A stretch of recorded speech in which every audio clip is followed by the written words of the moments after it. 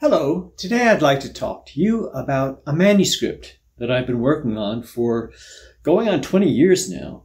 I've been trying to put everything that I know, everything I've learned, everything I've experienced in my scholarly endeavor to learn as many languages as I can, as, as well as I can over the course of my life, into text form where I can go into great detail and, and, and, and breadth and depth at the same time about many categories. I cover things such as linguistic taxonomy, looking at questions like what is language with a capital L, not just from a philological, but uh, from a philosophical point of view, and looking at what, what a language is, uh, not just from a genetic or geographic standpoint, but from other perspectives as well, uh, how vital languages are, how fulfilled they are, how, how they've been used in, in various functions. And I recognize that uh, we learn languages as objects of study, but I also go into depth about suggesting that it, it can be quite helpful truly to conceptualize of languages as living entities with which you build relationships. So talking about the different kinds of relationships that one can build with languages and obviously go into great detail about the, the methods and materials that one can use, the reasons for learning languages, the, the motives and motivation that you uh, can bring to the task and ways to strengthen this and to build new motives. Um, that's one of the main factors that influences your success. I look at lots of other factors as well, particularly those that are uh, under your control and that you can also uh, improve and strengthen as well. Um, talk a lot about different ways to discipline yourself and structure your life to, to be a successful scholar and how to um, build in other types of activities. This kind of scholarship is, a, is an overwhelmingly mental exercise. And so I give a lot of thought to different types of exercise, uh, spiritual exercise and physical exercise and musical and artistic exercise that can uh, balance and complement this, uh, making it a more holistic endeavor um, give a lot of thought to what it means to know a language and how many languages you can know and how you can maintain and use languages over the course of your life and continue to uh, improve of them. I draw not just on my own experience, but I uh, do a lot of investigation of the biographies of, of language and, and scholars of the past and look at lessons that uh, we can learn from them.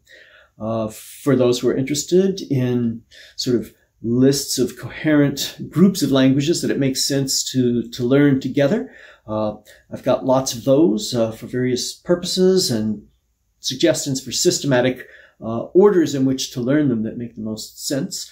Um, learning has always been, for me, a, a, a task of learning how to, to read books in, in languages. And so um, I talk a lot about the classic texts that can be read in various languages and give lists there as well of uh, orders in which it makes sense to, to learn and, and, read books in various languages and how to systematically develop your abilities to um, read languages diachronically over the course of your life. So um, in many of these areas, I sort of have a sort of a ninefold layer of analysis, three main categories and then three subcategories for each category. So, um, yeah, I've been working on this for decades, um, not continuously. Uh, that's one reason it's taken such a long time. Another reason it's taken a long time is aside from the being maybe very ambitious, trying to get everything into, into one place, um, and is that I, I, have called this at times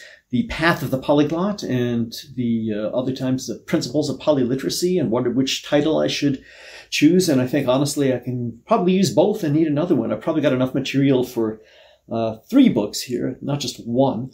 Um, but it needs a lot of editing. Uh, and so, um, what kind of person am I editing this for? Who would be interested in this? Well, if you're still listening to me, you're probably interested.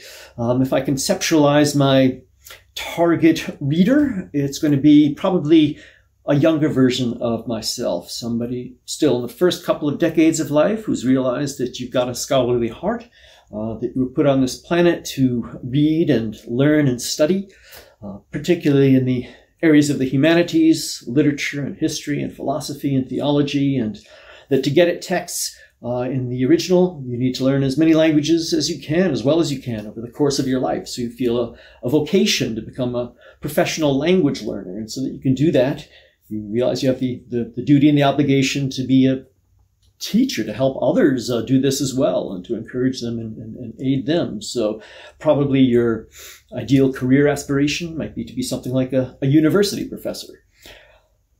That's in the main target, but Bullseye Target has a big circle around that as well. And I definitely want, have uh, aimed this to be for people in that circle who are saying, well, I don't feel a vocation to be a full-time language learner, but it's certainly my passionate avocation. I'm, I'm a serious amateur.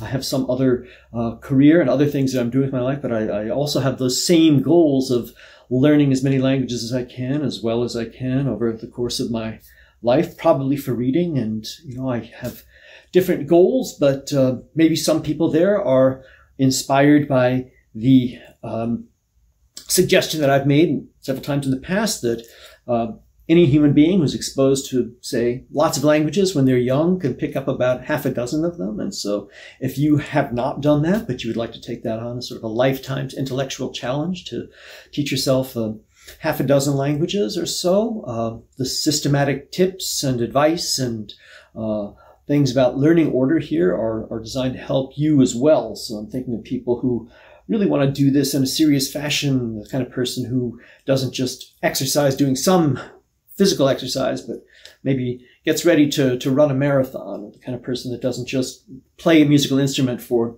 um, just for fun, but does work on improving their their scales and the like. So a person who doesn't feel that vocation to be a monk, but nonetheless uh, has carved out an hour or two a day for spiritual activities. So if you've carved out an hour a day for this kind of mental language learning for the course of your life, then I think that this is probably of great interest to you as well. um, in a larger category, I hope that this is of interest to, well, people like applied linguists now, like Rebecca Oxford and uh, Ulrike Jessner-Schmid, who are interested in exploring what other types of more normal or sane learners can learn from the, the, the passionately obsessed language learners. Um, people like uh, Dina Nuklyicheva, uh, who are now trying to make polyglotry a, a, field of academic uh, investigation. So, uh, mentioning polyglots, there are most polyglots probably don't share most of my presuppositions and, and, main interests. And so you wouldn't want to take everything that I say wholesale. But if this is definitely your field of interest, then you're welcome to come and pick and choose and, and, and take, uh, take, take what is of value to you. So these are the three main categories that I can see. Um, and then the, uh, maybe, who knows? I mean, I think most of the people who read The Art of War are not generals. Uh, people can get uh, value out of different types of books. And if you're interested in a probably pretty quirky uh, count of uh, obsessive quest for excellence in a certain field of life, uh, then this might be uh, interesting, perhaps even amusing to you as well. so uh, I've mentioned that I'm in the final editing phases of this now, and what has helped me more than anything else uh, in previous editing phases is when I could teach this as a lecture course in linguistics at a university where I happened to be teaching. Uh, but at that stage, even though it was extremely helpful, the students that I had available to me were not in the categories that I just enumerated, particularly not in the first or the second one. Uh, but now, uh, I'm very happy to say in my virtual academy, where I'm currently able to help numbers of uh, of really interesting people uh, develop their abilities to to read and discuss literature in French and German and Spanish, to converse in Latin, and to uh, to read and talk about great books. Uh, um, that I think I do have uh, enough numbers of people there that I can offer this now kind of course as, as, a, as a small circle lecture course as well. If I can convey the ideas that I have written down here uh, in small groups and uh, lecture that to you and, and, and, get your feedback as to how uh, clear that is, I think that I will have this uh, publishable ready in uh, relatively short order. So uh, if you'd like to hear, if you'd like to, to wait and get your hands on the book, hopefully it won't be too much longer yet, but if you can't wait and you would like to join me in, in hearing lectures about this, um, then please consider doing that, or please consider passing this information on to anybody you know whom that might interest. I hope this was interesting to you, and uh, I hope that the next video I make and present to you is also uh, valuable and interesting to you in your learning and studying endeavors. So thank you for listening, and uh, good night.